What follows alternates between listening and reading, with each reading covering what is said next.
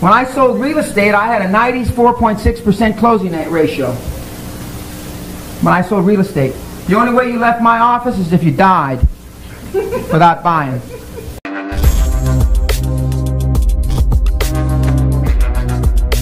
Okay. Now, this is what it's all about. This separates the men from the boys and the girls from the gals, the women from the girls. This is the crux of what made the Great Western Story possible. This is the crux of what the various other things that I've done in my life possible. This is something that I developed between 1976 and 1978. Just as I hope and wish and pray that today is a revelation for a lot of you, in 1976 I had the pleasure of attending a seminar put on by a very bright man named Jim Newman.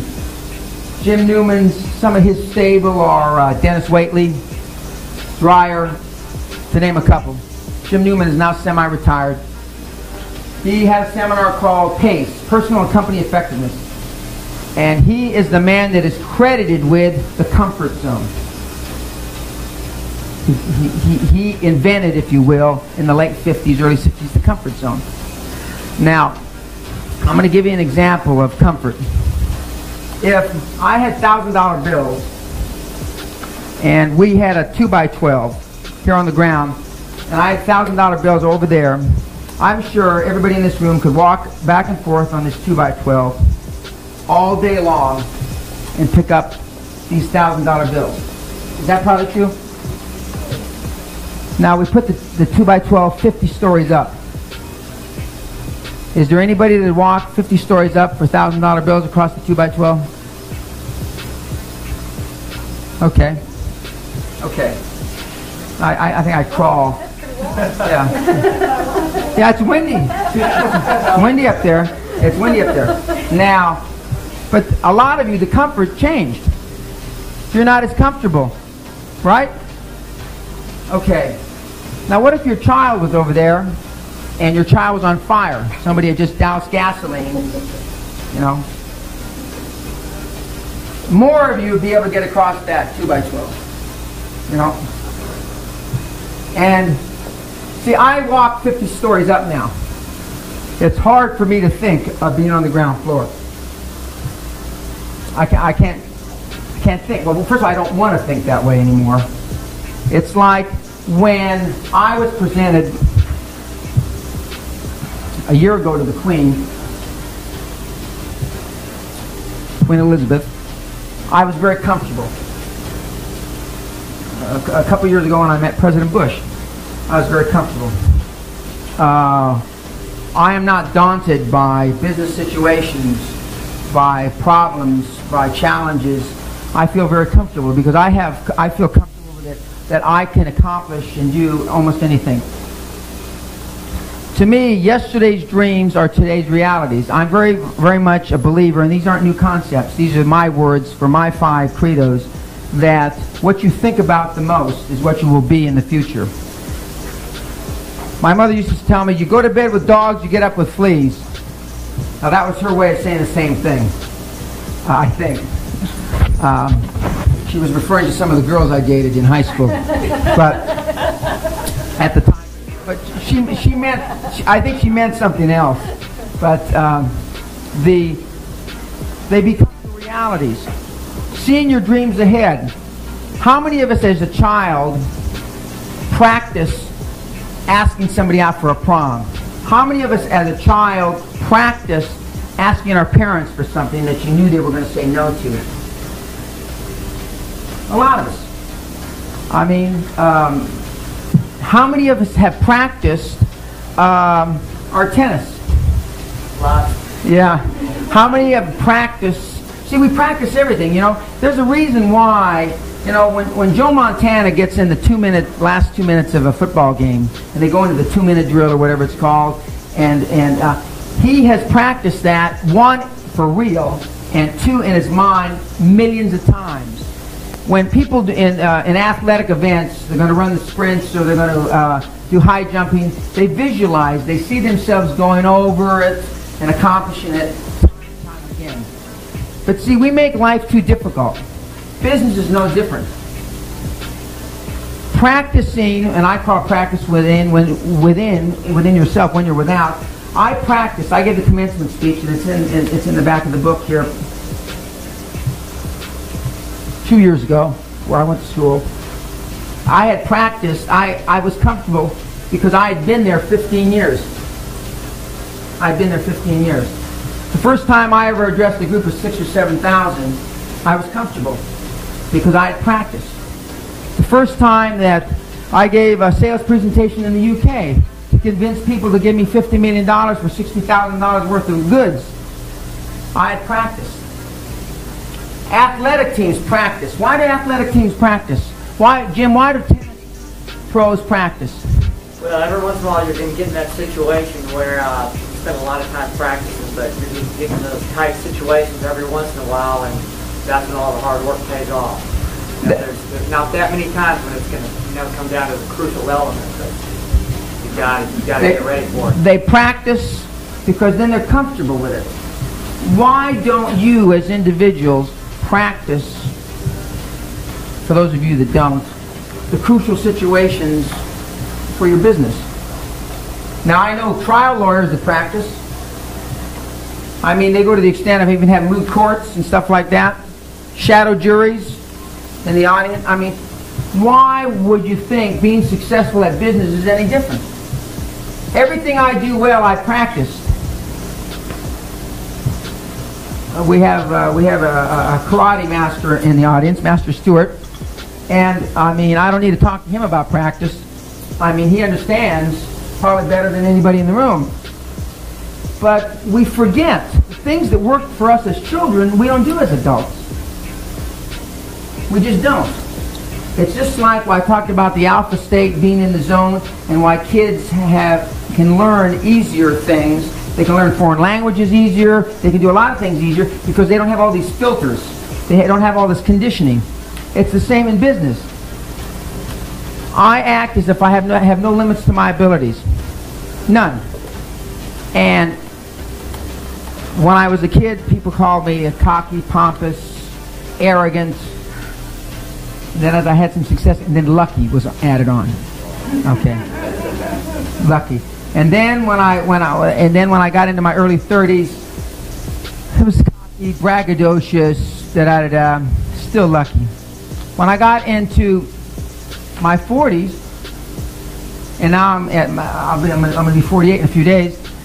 Now I'm eccentric. I'm not lucky anymore. I'm not lucky anymore. I'm eccentric.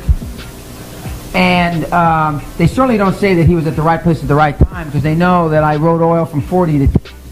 So I mean, they know that. But see, my attitudes have not changed. I've always, when I went back to give that speech at Cal State Northridge, there were still some professors that were there when I was there, and they asked Dr. Shirley Teeter, who's one of the senior, uh, she's a dean, I believe, and he said, Dan has not changed one percent since the late 60s just in, in the late 60s, he hadn't done anything except flap his mouth.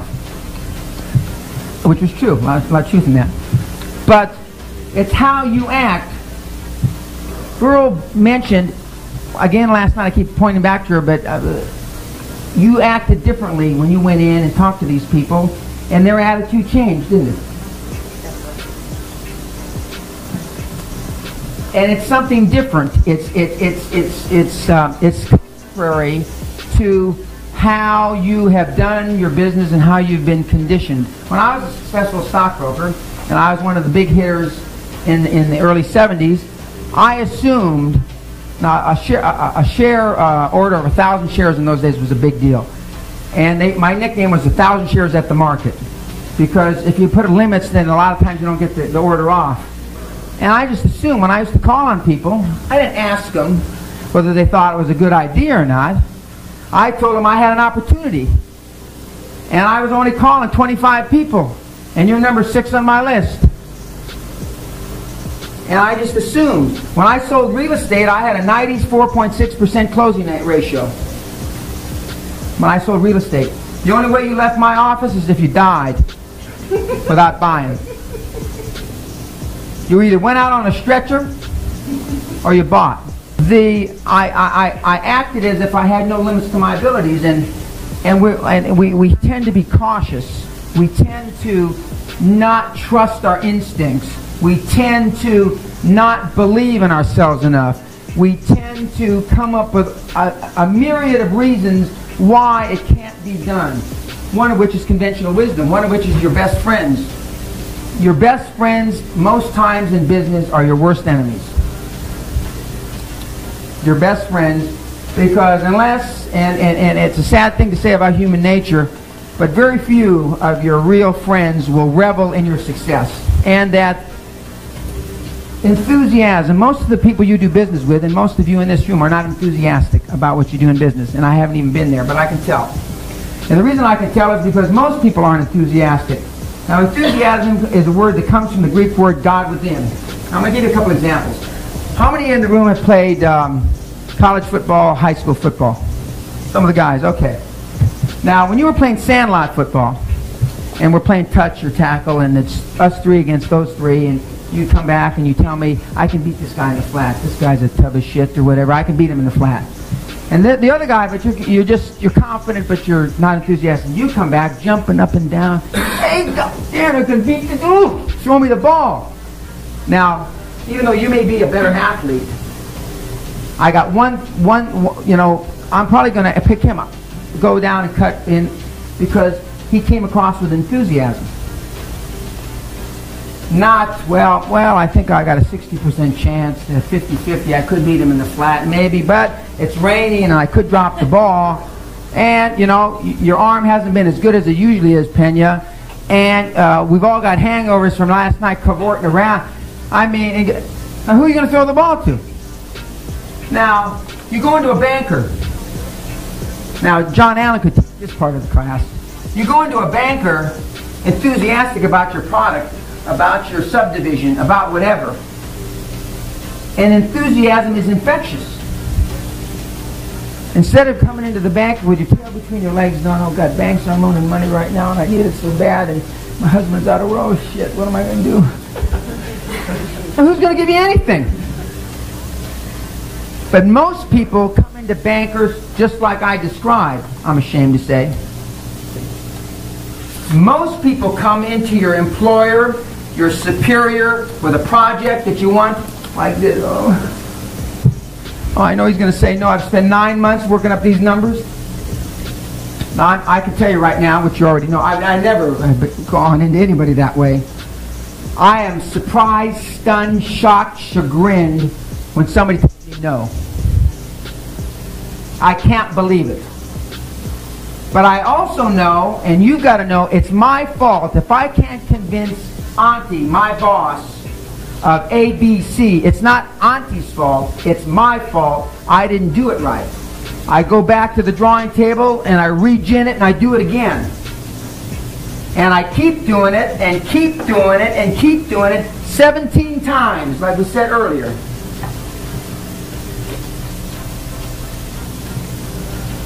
With enthusiasm. What we are going to produce out of you in the audience, because people follow the fellow that follows a dream. You will find people more willing to do deals with you, transactions, more willing to go out with you, more willing to marry you, more willing to whatever you, if they feel that you're you are a person that pursues your dream. People come and listen to me talk because they know that I pursued my dream and that I've been successful at fulfilling my dream. And as Napoleon Hill says, a fearless man thrives on far horizons. Now, it has also been said that if you will do the thing you fear, boy, this is important. If you would do the thing you fear, death of fear is certain.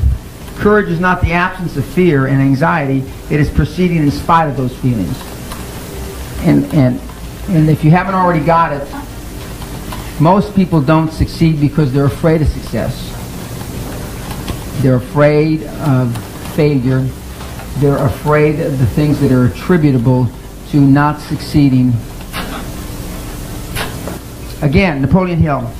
Does anybody remember reading or hearing how Napoleon Hill uh, got his first Rolls Royce or visualized his first Rolls Royce or how he set his goal for his first Rolls Royce? He was seven years old. He was dirt poor, I guess in Tennessee, where he's from. And he was sitting in a creek when he used to feel lonely. He used to go down to this creek. Is that how they say it? creek? Creek. And he used to sit on this old log and he used to sit down there and cry because, you know, his, his, his mother had passed away and his dad wasn't doing well and it was, it was, it was poor times. And he sat in this on this log in this creek, and he says, "Someday I'm going to be rich, and someday I'm going to have these things." And he says, and he, he used to close his eyes and visualize a Rolls Royce. And in that time, there were the old boxy big things that looked like a truck. But he says he visualized it. Then, when he got into his, I guess, 40s, uh, and he had worked on this the project for Mr. Carnegie for 20 years, and he had written, uh, in fact, no, he had not published Think and Grow Rich yet. Um, pardon? Oh, he had, he had not published, uh, I, I believe, Think and Grow Rich. And he got his first Rolls Royce, and uh, it happened overnight. Some guy gave him a Rolls Royce, his first Rolls Royce, and he took that car and he drove it back to Tennessee. He drove it down into that creek, and he parked it right where he saw it when he was seven. 30, 35 years later. Now, he visualized that goal. And an important concept that I, I, I have to get across is that when these goals come to fruition, it's extremely important to put them in that same context that you first visualized it. He went back and he drove it there because that is validation of what he had desired. That is why when professional athletes, golfers, even when they hit a good shot, first of all, they visualize the shot they're going to hit before, then they hit it, then they visualize it again, and they relive those positive experiences. When you do things right, revel in it. No matter what your husband, wife, friends, parents, revel in it. Pat yourself on the back, blow smoke up your you know what revel in it. Because one of the things I'm going to talk about later is glory is fleeting.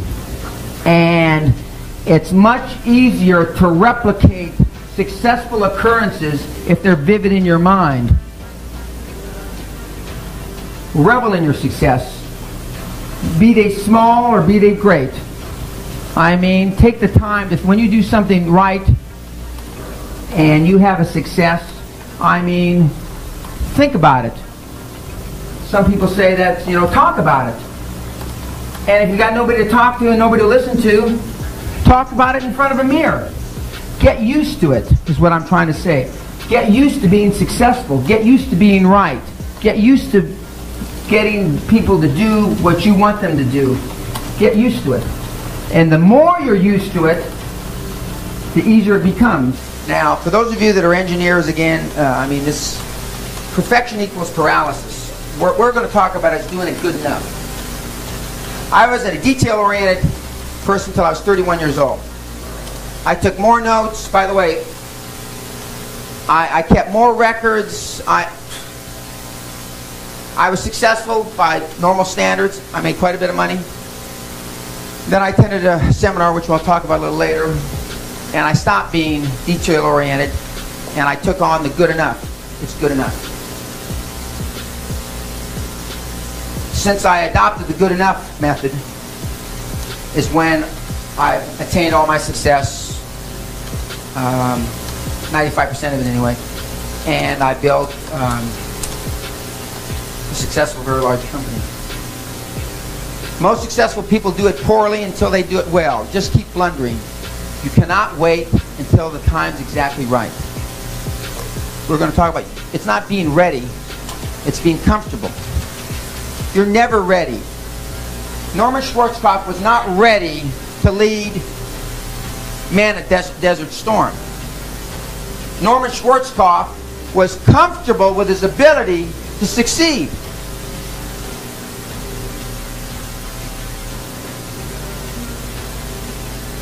I was not ready to be a CEO of a large company. but I was comfortable with my abilities.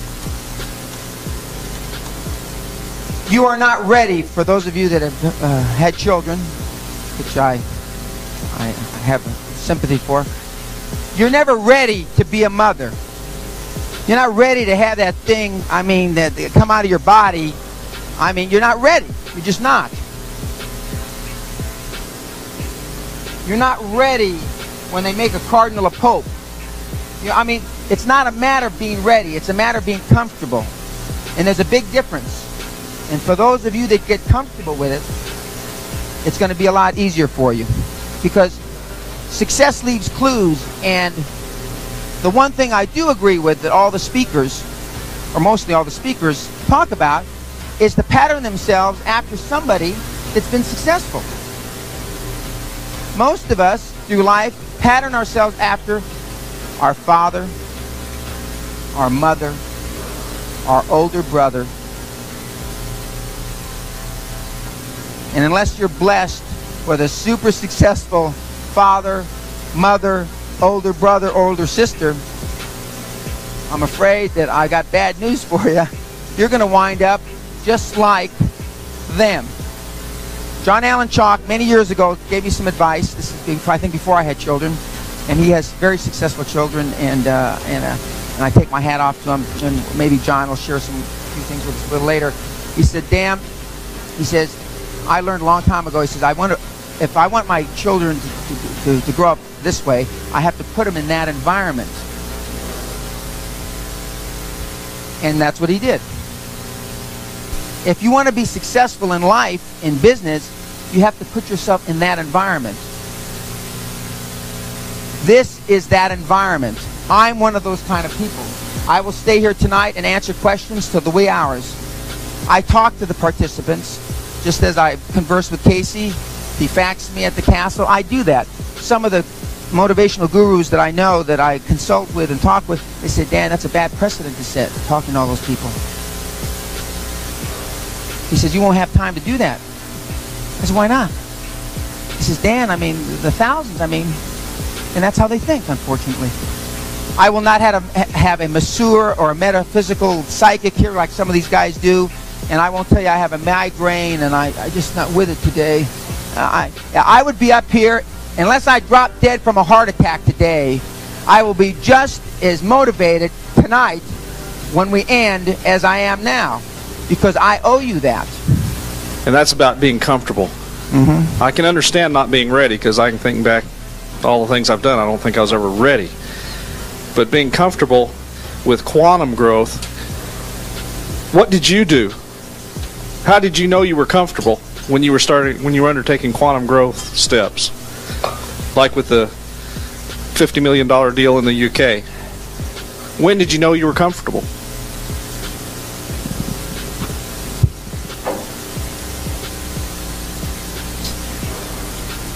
all through my career, um, most of the time, people told me, and through my childhood, which we're going to talk about a little later, you can't do that, then you're basically worthless. And um, the um, for a while, I think I probably even believed that. Not too long, but I think I did at a time for a time.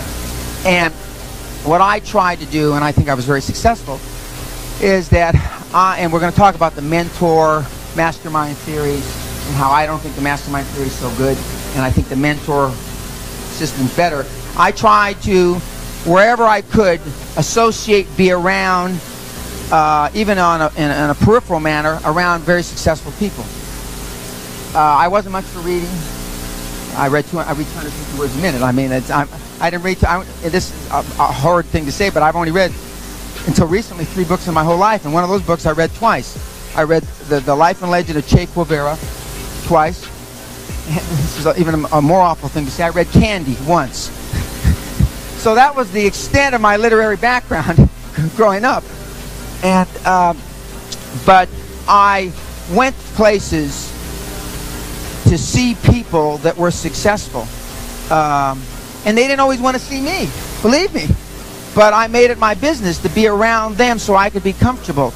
Um, when I bought things ahead of the curve, I had a brand new Mercedes Benz. Well, no, I had a Rolls Royce when I was 25.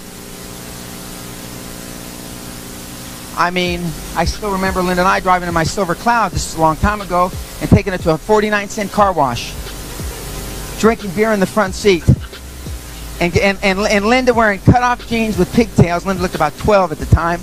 And, uh, and, and, and, and then I still remember them breaking the antenna off. And I still remember getting irritated with them. And, uh, but I, then Linda says, well, damn, we went to a 49 cent car wash. Maybe we, maybe we should have taken one of those places they hand wash it. Uh, but I've always uh, been ahead of the curve. I thought, and when we get in the goal setting, I, I, I, thought about uh, owning a castle before. I owned one. In fact, one of the things that I will suggest and I'll show you and I'll pass it out later is that I used to read the Robb Report in the late 70s. And this is a, a, a magazine that's got only a subscription uh, uh, of about 18,000 people or something. But the average net worth of the people that subscribe to this magazine is $4.5 million. The average net worth, the prospecting tool, the average net worth of the people that read Forbes, does anybody know? 270,000. Fortune, Forbes, all those are between 170 and 260,000. 4.5 million. I happen to know um, Maury Povich and Connie Chung read this. I happen to know a lot of very successful people read this. And I have, before I had any money, I was reading it and I was, you know, looking at Rolls Royces and Rolexes and, and things like this. And this issue, the reason, and you can look at it during the break, is because this is where rich people, the people that subscribe to this magazine, pick the very best from cars, restaurants, investment bankers, books to read, country clubs, vacation spots. I used to go to vacation spots that I, you know, where successful people would be, way before I was successful. I remember being at La Quinta. Linda and I, let's see, I was 26. Linda was 21, 22. We went to La Quinta to stay to play golf.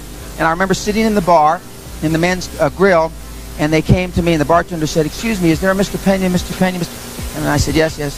They said, um, he's whisperings is There's a woman that purports to be your wife um, at the front gate, at the, uh, in the lobby. And I said, well, what do you mean purports?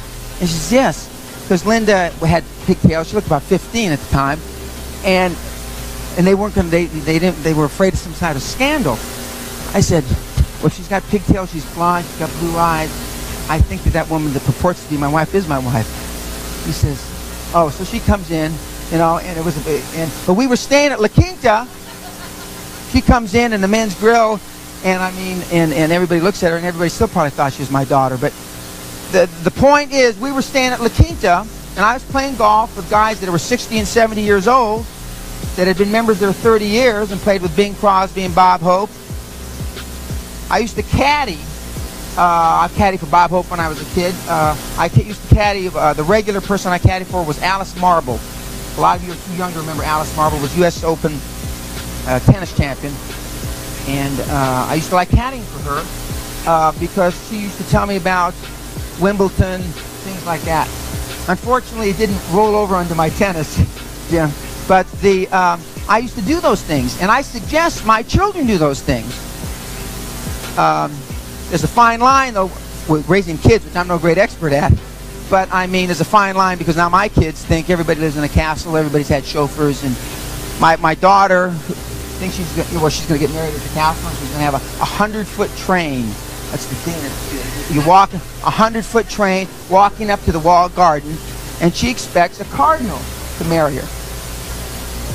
She, when she said the Pope, I said, I'm not sure I can arrange that, the Pope. I don't know if the Pope marries anybody. But you put yourself, just as John Allen Chalk said about raising children, you put them in that environment, you put yourself in that environment. And it's always when you can't afford it. I couldn't afford La Quinta, but I, I was there and I got used to it. One of the reasons my wife and I are still married, because we've grown together, is because Linda thought this was a great idea. I mean, and, and, and we've accepted these challenges. My kids, you know, I can, my kid could fly from London to Los Angeles by himself today. My two sons, 10 and 11. I mean, they we don't have to go get the, you know, pay $25 to have the flight attendant walk them from here to there. Because they feel comfortable. Because they've been exposed to those things. So what I did, because we're going to talk about where I live in the graffiti, you're going to see some pictures here in a few minutes. I put myself in that position so I felt comfortable.